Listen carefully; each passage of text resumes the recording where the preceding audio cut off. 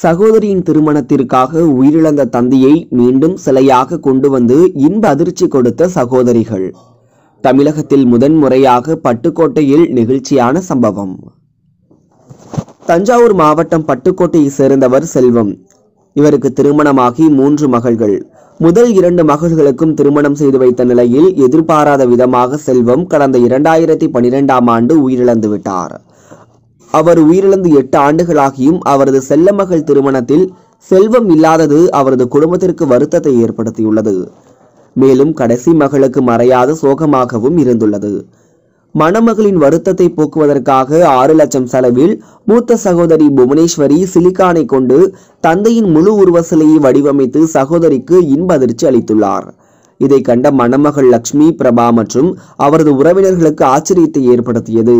உயிருடன் இல்லாத தன் தந்தையின் சிலைக்கு முன்பு மணமக்கள் மாலை மாற்றி தாய் தந்தையின் காலில் விழுந்து ஆசீர்வாதம் பெற்ற சம்பவம் நெகிழ்ச்சியை ஏற்படுத்தியது.